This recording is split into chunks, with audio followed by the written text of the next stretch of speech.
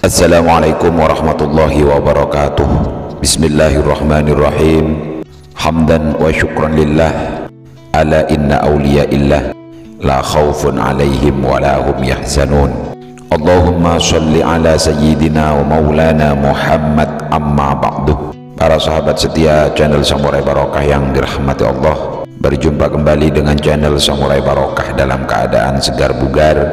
Amin Kali ini Al-Fakir akan menceritakan sebuah karomah Al-Habib Soleh Tanggul di mana beliau mengobati putri raja Arab Saudi dan bisa menyembuhkannya. Simak penjelasannya di channel Samurai Barokah. Tonton sampai selesai dan jangan di-skip. Like videonya dan subscribe channelnya. Para sahabat channel Samurai Barokah yang dirahmati Allah, Habib Soleh adalah seorang wali yang penuh dengan kasih sayang.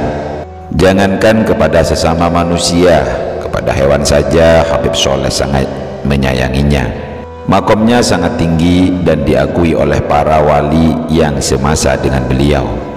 Bahkan doa Habib Soleh mustajabah yang melebihi sambaran petir kecepatannya. Al-Fakir akan menceritakan di antara karomah-karomah beliau mengobati putri raja Saudi Arabia. Sayyid Alwi bin Abbas Al-Maliki Makkah adalah ulama besar yang jadi rujukan hampir semua ulama pada masanya. Beliau juga salah satu penasehat Raja Saudi. Saat itu Raja memiliki anak cacat sejak lahir. Anak itu tidak punya lubang dubur karena lubang duburnya ada di pinggang Tentu saja sang raja sudah datang ke pengobatan di mana saja, tapi hasilnya belum membuahkan hasil yang memuaskan.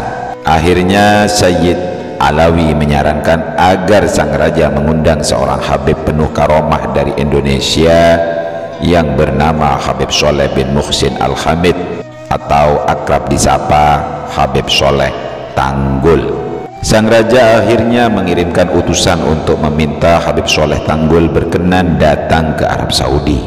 Habib Soleh akhirnya bersedia dan berangkat bersama utusan sang raja. Sang raja sudah menyiapkan jamuan istimewa kepada tamunya yang dikenal keramat ini. Sebelum bertemu langsung dengan raja, Habib Soleh ngobrol santai terlebih dulu dengan Sayyid Alawi, baru kemudian menghadap sang raja. Anak sang raja sudah duduk di kursi kebesarannya.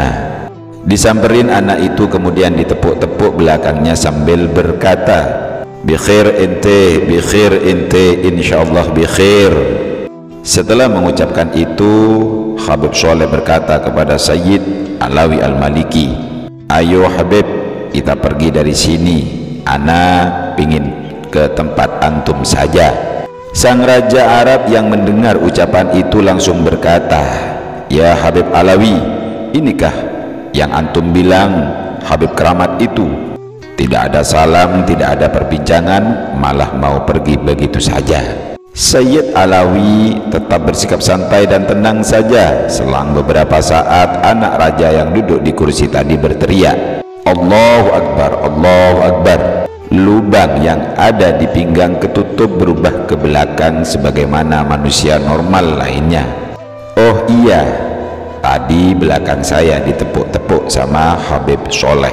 Akhirnya sang raja menawarkan satu peti berisi emas kepada Habib Soleh. Simpan saja emasmu. Ana lebih kaya dari ente. Kalau perlu ana yang kasih ente jawab Habib Soleh. Ya Habib Soleh Ana punya anak perempuan. Kalau mau putri anak akan saya nikahkan denganmu. Lalu antum aku beri jabatan tinggi di sini kata sang raja. Simpan saja putri ente. Ana punya syarifah di rumah.